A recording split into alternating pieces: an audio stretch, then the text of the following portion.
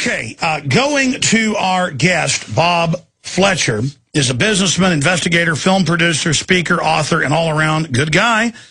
And uh, I'm not going to go over uh, his bio myself or even give you his website. I want him to do that because I like to have guests on in their maiden visit with us to describe how they woke up. And he woke up running right smack dab into the CIA. I woke up when the police were dealing drugs in the town where I lived and busting people who had them later. And then I spoke out and they threatened to kill me. So uh, that's how I found the rabbit hole. Bob Fletcher joins us for the balance of the hour. Bob, uh, great to have you on with us today. Tell us about yourself and how you woke up. Very good, and it's my pleasure. I uh, uh, thanks a lot for having me on. Uh, and again, it's strange. Uh, you and I uh, m- missed each other all this time. I should, it's my fault. I should have screamed at you, I guess, earlier, and uh, we could have uh, shared some airtime. Uh, far as how I got started, it, it's absolutely mind-boggling, and I'm going to really have to abbreviate this. I love to tell the whole in-depth story, uh, but it takes so long that then it cuts into everything else that we might want to cover. Um, I had a toy manufacturing company in Atlanta, Georgia, and this is in the uh, mid 80s, 1983, 84, 85, that period of time. Um, I uh, I manufactured puppets and uh, unique little baseball hats with the the everybody's seen them. Originally was my one of my ideas. That was a with the funny little animal faces on the front of them and all that stuff. Uh, and basically uh, doing very well. We were expanding. I had a retail operation, and the the toy is extraordinarily. Uh, my primary product was very very unique, and uh, we were selling them. Uh, giant numbers. I couldn't even keep up with it. And I ran into a guy in New York City at a giant mer- mar- marketing and merchandising show, and uh, uh, as in those those shows where they have thirty five thousand buyers show up at these gigantic um, uh, exposés, and I uh, uh, just gathering up business cards of people that uh, were interested in buying my product, and uh, just gather it up, write a little note on the back, and put the card down with full intent to get back to him later on when I got back to Atlanta. I contact this one number that I look at on the card once I get back to my factory, and I look at it and I said, "Well, this is this is my address." And I looked at it again and I said, "Yes, this is my address." And then I looked at it more carefully and I realized that it was a guy that had a uh, an operation um, a hundred feet from me in the same um, manufacturing area. Uh, and I could hit it with a stone. So wow, I thought that was pretty strange. Anyhow, to make that long uh, part of this rather short, uh, apparently I had been targeted by this guy, uh, and I think primarily because the previous five years of my life, I had had a um, an international uh, marketing company and had actually been partners with uh, the um, uh, a uh, me the um, a, a ambassador. Actually, he was the the consulate general uh, for the country of Liberia, and we were doing business with West Africa, et cetera, et cetera. And that was a couple years prior to my toy company. So I found out much later that was the reason I was targeted. Now, when I say targeted, here's what took place. We're, um, uh, I, I merged my business with this guy. He owned two or three companies, a gigantic company, uh, or I say gigantic, well, a large uh, uh, national company where he, he sold novelty watches uh, to 7-Eleven stores and things of that sort. You know, talking $100,000 at a time uh, kind of contracts. Uh, Uh, so that was pretty big. And he employed a hundred people with that company. So I thought I'd kind of hit pay dirt. All of a sudden, I had this business partner with tons of money to do what I needed to do with my toy company. Well, the bottom line was this guy was a major covert supplier of weapons for the Central Intelligence operations worldwide. And that's his intent with my company and with the other company that he had, which was his watch company, was using them as covert fronts to be wherever he wanted to be. In my case, he had a full intention uh, of moving and having myself function as a courier into Angola. That's where the African connection comes in. And uh, needless to say, it blew me away. Uh, the first couple of months was great. The money was flowing. This guy was going to do television advertising with my toys and uh, et cetera, et cetera. We were just going to go to the moon with what I was doing. Uh, however, when uh, one day uh, he said, we're going to have some visitors. I want you to meet them. They turned out to be General Heine Aderholt and General uh, John Singlaub that people would meet a few years later in the Iran-Contra investigations. This guy was, uh, by the way, his name, the, the covert operative's name is Gary Best, and his company was called Vista, and Vista International USA, and uh, even changed the name of my company to Vista. Uh, they long and short. How do? Uh, why did you get out of it? Uh, well, in in short, uh, eventually after meeting generals and finding out about what was going on, or at least finding out partially what was going on. Like I say, he wanted to bring me in to function as an international courier. The downside, he says, was that if you talk to the wrong guy, you're going to be killed. I thought that was kind of negative compared to the positives. Obviously, you just wanted to sell toys above board in America and, and, and around the world and be a regular toy salesman. You got it. You didn't want to be a spy. Absolutely. Just blew my mind. And I mean, these guys were coming in and out. We were getting telexes at that time. There was no email. It was telex time back then. We would get telexes that were coded uh, messages, and this fella, Gary Best, would tell me that, uh, oh, by the way, this means one of our guys was just blown away over there, and uh, so this operation had fallen down. I had come in on telephone conversations where he was selling and putting together contractual agreements for 747 aircraft. Uh, making as much as 10 million net profit on these. Now you came into a high level operation. High level, unbelievably high level, because I, after, after finally, I just said, hey. I got to get out of here. The guy owed me a quarter of a million dollars that he hadn't paid me uh, yet. Uh, I said, pay me up or give my toy company back. And he said, you're out of here. And if you say anything about what you've learned here, uh, you, you're going to. And he, what he did, he didn't say anything verbally. He reached in his pocket, his vest pocket, pulled his hand out in the shape of a gun, pointed it towards my far, forehead, and pulled the trigger of the pretend gun. Wow. St stay there. We got to go to break. You got to finish the story. Then we'll, this will be the first of many visits, and then we'll get into the weather weapons, all the other things you've been involved in and, and, and covered. Amazing. Amazing. Bob Fletcher's our guest. Everything we said came true. Everything we've done has been right. BobFletcherInvestigations.com is his website. I should add, we uh, have a mutual friend, Emilio Estevez, who actually got Charlie Sheen into, quote, conspiracies. Now, that's who uh, got Charlie into it, and I've you know, met him quite a few times and hung out with him. Great guy, really smart. He was looking at doing a story of Bob Fletcher's life. And why I've never had Bob on to now, I'm still marveling, but I don't want to burn the time up. Uh, repeating that, obviously, we'll catch up on the 17 years I haven't had him because uh, he's, he's such an interesting fella. Finishing up your story and abbreviating it, then we'll get into the weather weapons, all the other stuff you started discovering after that since then, and what you think uh, of what's happening today with Obama and uh, all the, the big developments. Bob, please continue. Like I say, we have to really like kind of compress the the the front end of this thing uh, in terms of what happened. Uh, so here I am. I'm sitting in um, uh, my own toy company has now been taken over. The contracts are done. This guy technically owns it. He hasn't paid for me, paid for the uh, the agreement yet, but and he so he owes me a lot of money. The bottom line was these the things that were going on were just so far over my head, and I was just. Uh, you know, again, I had done an awful lot in my life prior to this, so I certainly didn't consider myself to be naive.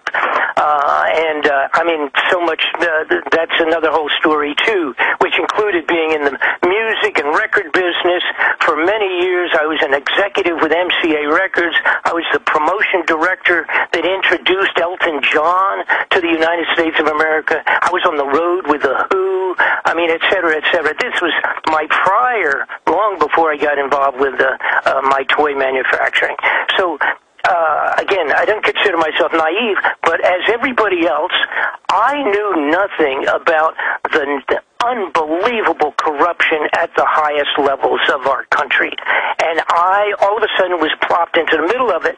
Now, first I thought, when I, I I just left. I mean, I I, I left with a, a threat on my life.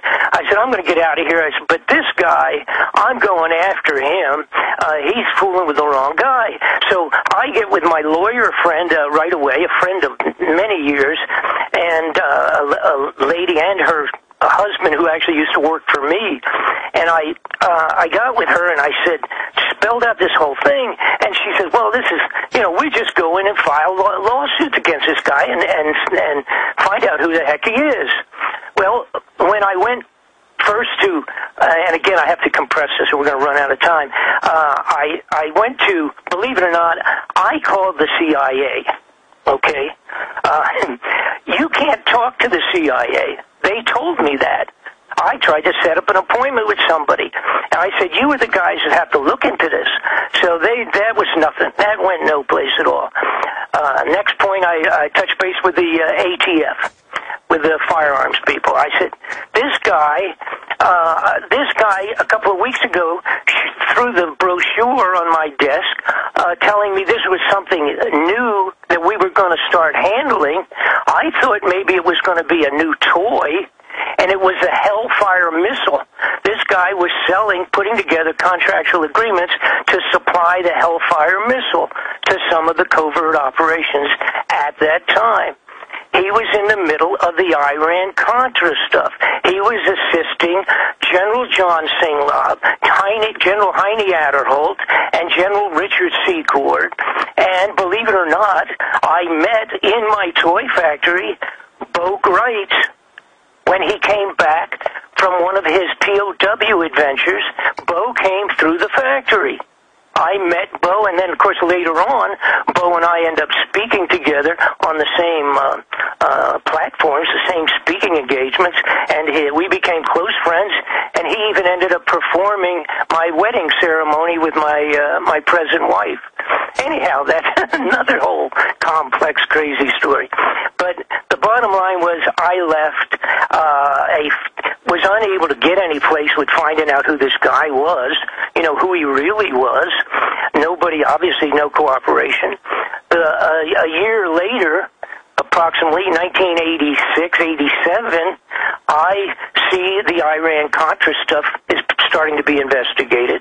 Senator John Kerry's people investigating, and I uh, I'm watching the TV, and I heard a name or two, and I said, "These are the guys that were in my toy factory." So I called up, believe it or not, just called straight in, dialed in, and uh, I contacted uh, Senator John Kerry's office, and I said, um, uh, I, I, these people that you said you didn't know who they were, I know who they are.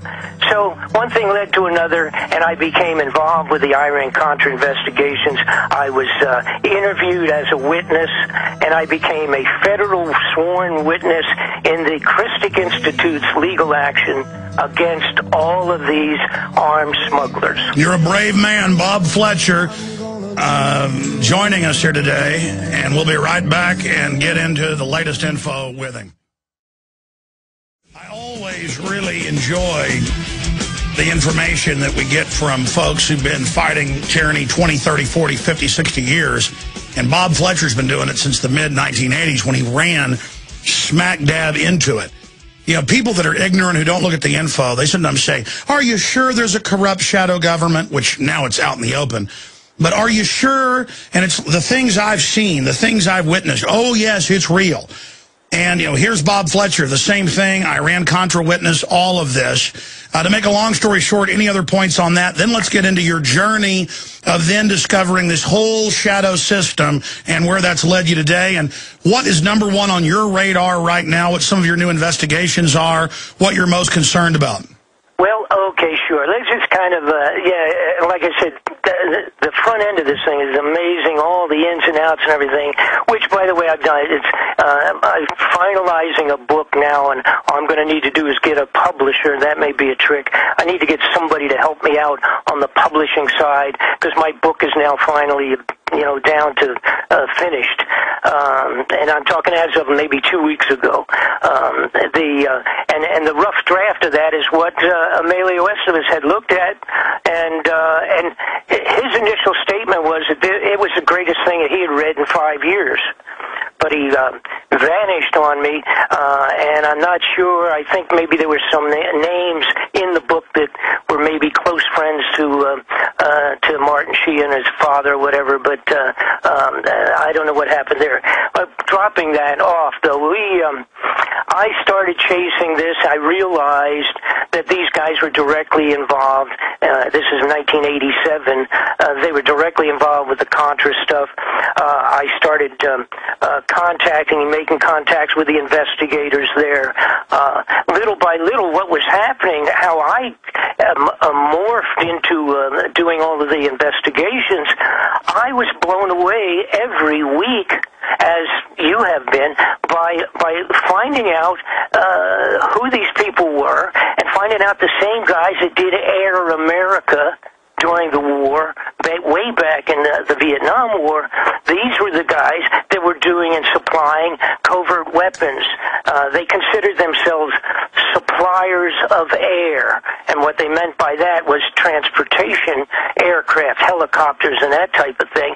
But in the midst of this, of course, was uh, the supplying of all of the weapons that go into all of the little tiny unrecognizable wars that we carry on over and over and over again worldwide. It's a very small group of guys that uh, are always available, the same as there's a small group of assassins that are always available to remove problems from the scene. So a telephone call will come in and a guy will pick it up and they'll simply say, we've got a problem we got to solve, and these guys will go out and eliminate whoever it is that they want to eliminate, or they have to get weapons to an area. They will call these same specific guys and just say, we are, we're going to start functioning in Angola and we're going to start functioning here and functioning there, and they set up the necessary secret weapons, etc. And uh, I was finding out on a regular basis that the guys that I dealt with yesterday, that I was chasing, were some of the same guys that I was going to deal with next month, and that they were all interrelated. And it ended up that all of the investigations that I've done in the over the the last 25 30 years um i ended up being physically involved one way or interconnected one way or another with what I was looking into. And it was usually it all went back to these same characters that were in Bob Fletcher's uh, toy company. And uh, tell folks what happened to Sonny Bono Sonny's situation was during this period again from from the 80s up through the 90s and up to the 2000 um, I was involved with many many inquiries that the Senate and the Congress were carrying out. I dealt with Dante Fascell as it related to the old October surprise inquiries uh, I supplied them with material that Barbara Honegger had given given me after being unable to do anything. I was involved with that in, inquiry. I was involved with, I did do a thing on the GF, JFK murder because I had gotten some actually footage from a Central Intelligence agent way back in the 80s.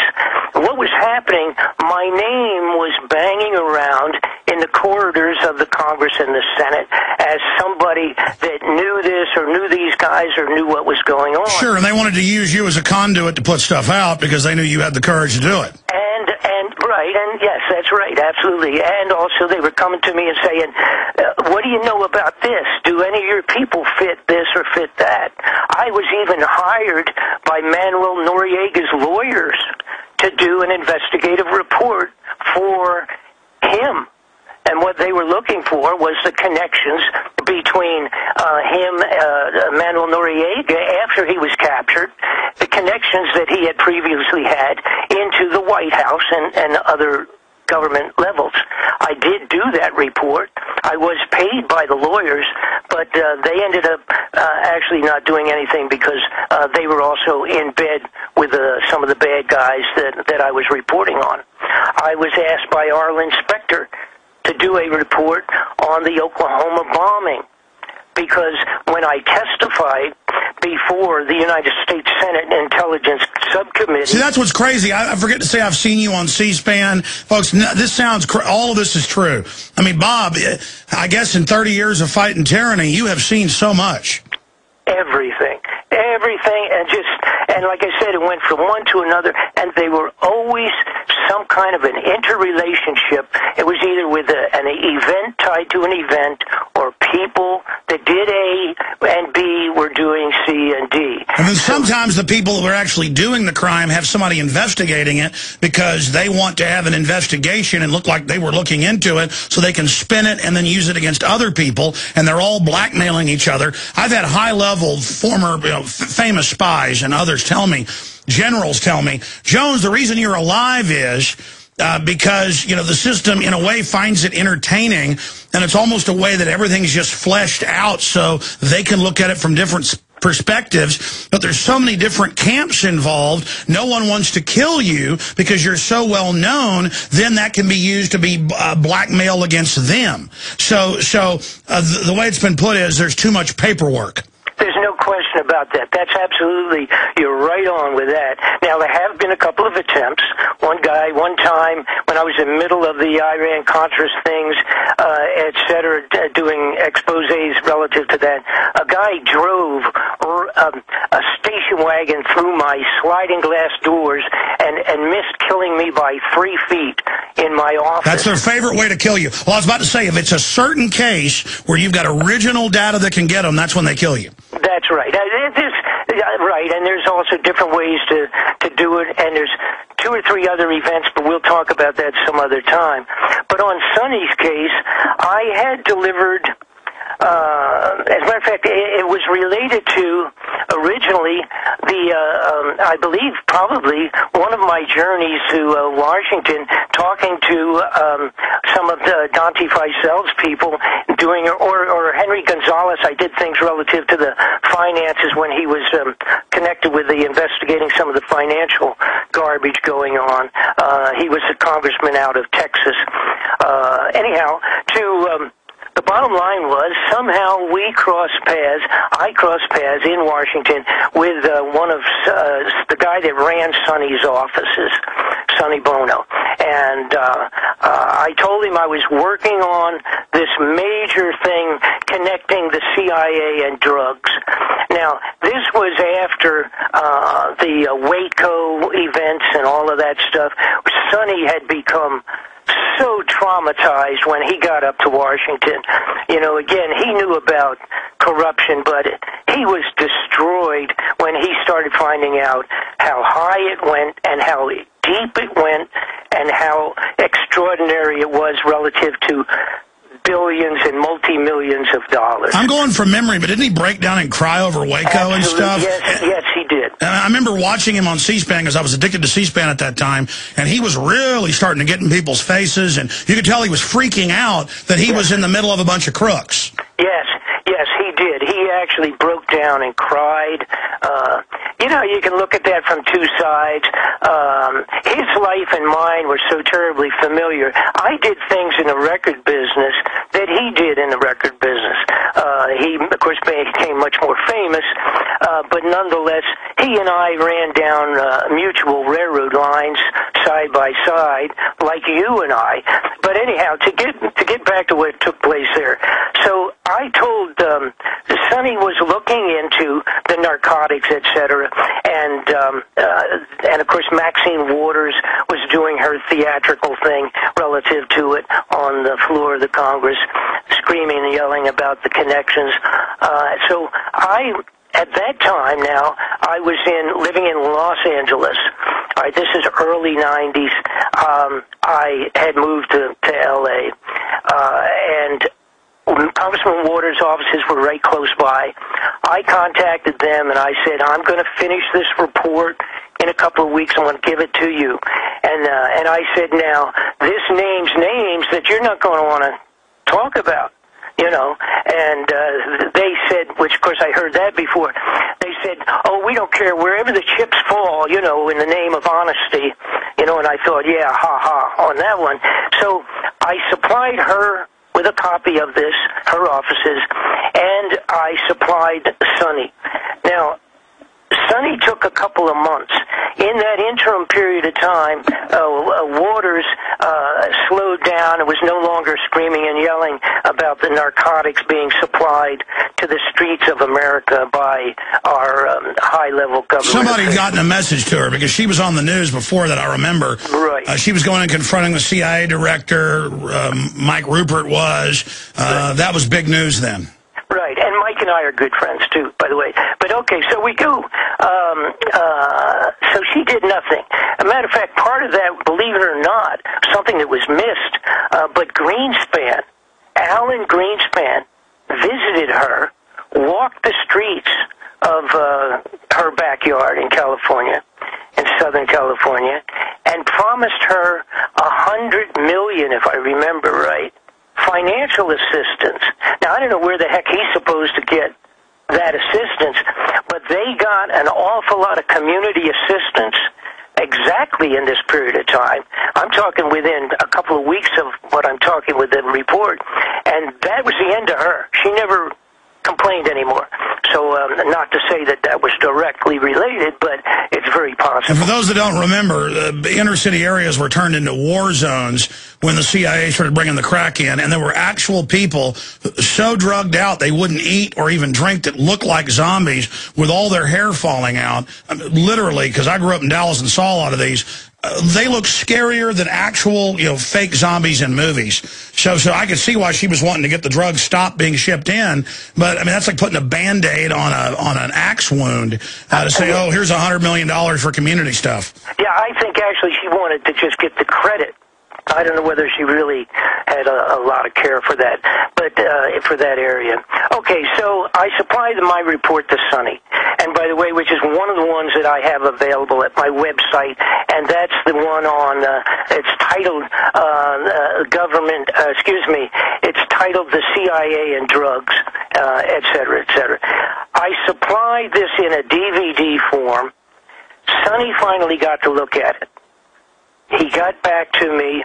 I received a, a, an advance uh, information that Sonny had gone over it. He had freaked out and was moving forward to initiate a congressional inquiry based on primarily what I had supplied him with. And there's specifically a few people that he wanted to go after. I said, great, let me know how that happened, what's going on with it. Another month went by or whatever, and I, I received the call uh, right in the middle of December, uh, and uh, I was told, uh, Bob, Sonny has it all set up. In three weeks, when he comes back from the Christmas holidays, we're going to begin the inquiry into all these all these characters and everything that's going on. We want to make sure you're going to be a witness and that you will assist us to go from there forward. I said, absolutely. I'm in Los Angeles now, but when you need me, you let me know, and I'll be in Washington, and let's go and do it. And the big deal was that Sonny had said that they were going to, they had set up subpoena powers for the congressional inquiry. Now, not mean anything, it's just a word to a lot of people, but the bottom line is that commonly, with all of these inquiries that are by Congress and Senate, they're shut down all the time. They're sidestepped. We are lied to. They come in. They have experts that come in and sit on the committees. They know how to shut up everything. Well, here's an example. The TSA ordered Congress not to have all these top forensic security experts testify, proving their machines are frauds and it's all theater. And, and they tell, that was in the news the other day, the TSA tells Congress, and Obama tells Congress what he can and can't do. Uh, uh, he, he tells Congress, hey, we're going to have a war, and, and, and you're not over that. The UN is now. Yes, absolutely. So the, the, the total control thing by this time is, is uh, just forget about it. Anybody that thinks you're going to get anything done, you know, like the idea of write your congressman, phew, give me a break. That's almost uh, a comedy routine. But let me get to, to the most upsetting thing in. T- 30 years in my life, I think, was the Sonny situation. So what happened is he gets my he gets my report. They're going to move forward with the um, uh, subpoenas. Subpoenas means that they're going to be able to tell these people to answer the questions or do jail time for not answering the questions. That's the difference that Sonny had set up. He was going to be on this new intelligence committee. It was all everything was set and in place. And uh, so I said, great. I, I wished them all a nice Christmas, and that was it. Um, uh, ten days after I received that telephone call, Sonny Bono was murdered on the top of the ski slopes. Period. End of story. When it happened, I mean, of course, I mean, I just totally freaked me out because the bottom line is I genuinely feel somewhat responsible for his death because I know the materials I sent him and the phone call I had gotten 10 days earlier was was the the last straw for the bad guys. They were in a position to either stop and and actually they had to kill and terminate Sonny before he came back, which would have been about 10, 15 days after he he was killed. He only they only had 10, 15 days left. If they hadn't killed him and uh, where he was going to move forward with the investigation, the investigation would have been started, and somebody would have finished it, even if he had been killed then. Incredible, incredible. I'm going back to Bob Fletcher of BobFletcherInvestigations.com. Finishing up with the Sonny Bono, because I want to spend a little bit of time with you. And then if you want, we'll have you back next week or the week after to really get into weather weapons and everything I originally wanted to get you on with. But I remember 93, 94, watching Access TV, people putting Bob Fletcher investigation videos on. And it was just, I was like, this guy's really credible. I've seen him on C-SPAN testifying to Congress, but then he's talking about weather weapons. That was just too far out for me. Now it's just, oh, the government's weather modifying, but it's secret. And it's everything Bob exposed. So I'm going to do a whole hour with him on how he knew all that. I've been finishing up with Sonny Bono's uh, murder. Okay, sure enough. Um, and I, like I say, we end up end up running out of time because there's, because whatever. We're talking 30 years of crazy stuff here. Um, the um, so with Sonny's case, I called Sonny's office right away to uh, uh, my my longtime associate up there uh, for a few years, um, and um, he would not take my calls. Now, this is a guy I normally would eat lunch with in Washington, uh, and so this was right afterwards. So then I knew uh, I was right. The worst situation had happened, that he had been hit. Uh, so I started chasing it, and uh, I had done a, a profuse inquiry. It took me a long time. They were totally withholding uh, the um, autopsy reports, uh, which which I guess I'm still the only guy that's gotten it. Um, uh, that's the, they're holding a little bit of it back, but the autopsy in reality uh, shows that he had. Um, there's no way he could have run into the tree. Uh, that's all baloney. I got the footage of the area that was taken only a, a couple hours after he was found, and all the rest of that. I did an extensive. Uh, I've done a DVD report, which is available at my website also on Sonny's murder. But the bottom line, without getting into all the intricacies of it, uh, there's no question it was impossible for him to go fast enough.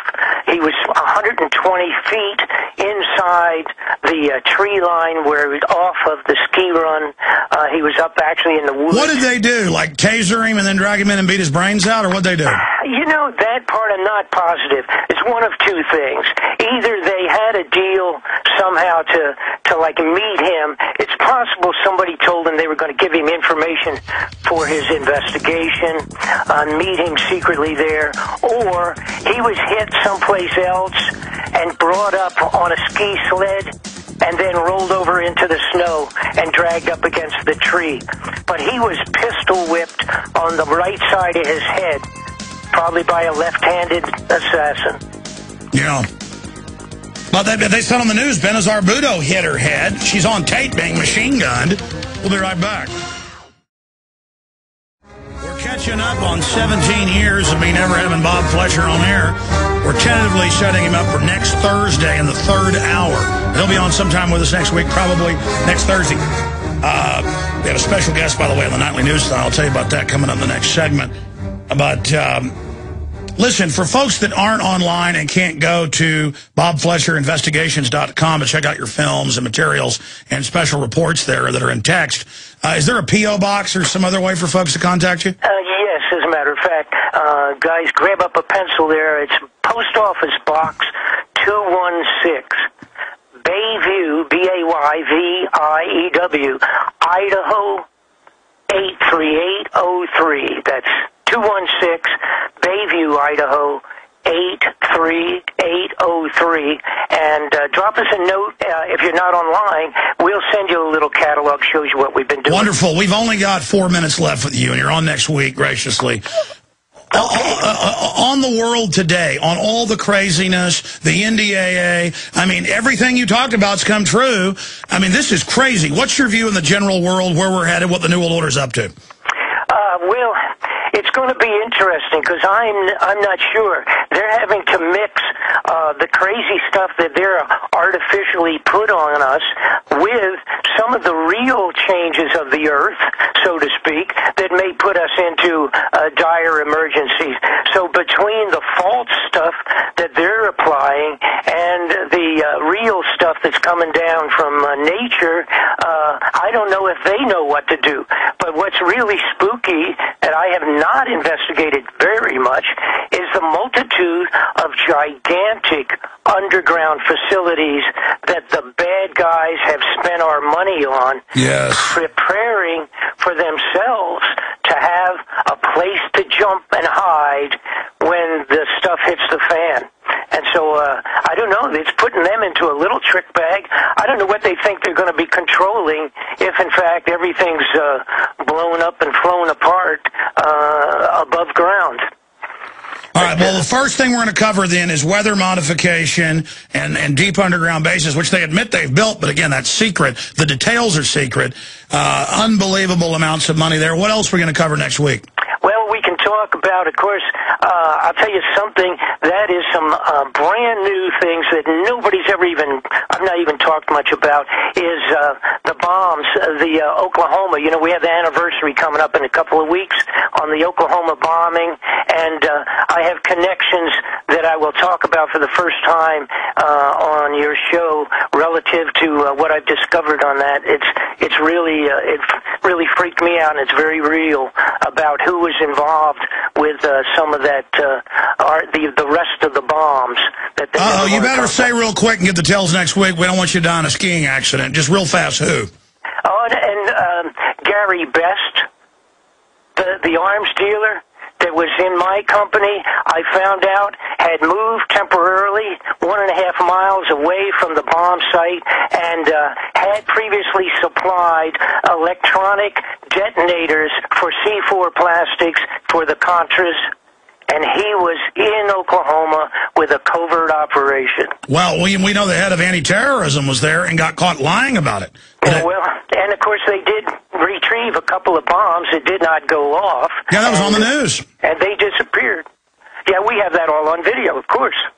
Well, uh, we can talk about that, and uh, go- or we can talk about some of the weapons that people just would not believe that we utilized and tested down in Panama when we invaded the Panama. We did the Panama invasion. Super weapons. Right. Well, laser weapons that melted humans. And uh, we have some of that, un- unfortunately, on video, which is pretty disgusting. Yeah, I've seen that in the Panama deception. Wow. Okay, we're going to cover it all next Thursday. I'm going to call you in about 10 minutes to double check. You haven't been able to see your schedule yet, but next Wednesday, next Thursday, Bob Fletcher, full hour uh, to get into all the other stuff. Amazing. Bob, thank you so much for spending time with us. God bless you. Take care. I'll say bye to you right now. Uh, Bob Fletcher, Investigations.com. I'm Alex Jones with Infowars.com and PrisonPlanet.tv. If you believe in this information and want to support its viral spread, go to the InfoWars store at Infowars.com. We've got the new G.I. Joe InfoWars t-shirts. We've got the incredible ProPur gravity-fed filters available at Infowars.com in the store. We've got a new DVD, Scientists Under Attack, the Don't Tread on Me flag. We've got all sorts of different bumper stickers to help spread the rebellion virally. It's all there. Wristbands, citizen rule books in every order. Order online at Infowars.com today. The water filters, the canteens. It's all there. Infowars.com.